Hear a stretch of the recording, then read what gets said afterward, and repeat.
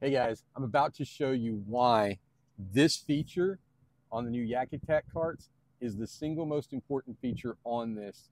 It makes it the coolest to work with boats like the Sportsman series from Old Town. Let's get into it.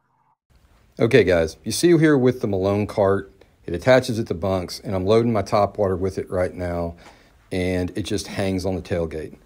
Doesn't stay next to the bunks. Now compare it with the bar cart and it's all nice and tight up against the hull. Goes straight in, straight to the wheels, perfect fit, and it just stays there. As you see here, guys, I keep it on the truck just like you see here. The bunks are secured up under the, the hull, like you see right here. And I just run the strap underneath the seat straps, like you see here. All good, rides great.